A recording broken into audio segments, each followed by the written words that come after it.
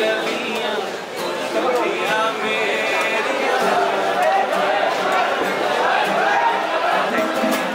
is a company called Escape Group. So we do a lot of offbeat things. Jamming sessions is one of them. So हमने सोचा सब लोग लाइन में खड़े होकर बोर हो रहे हैं तो जाके थोड़ा सा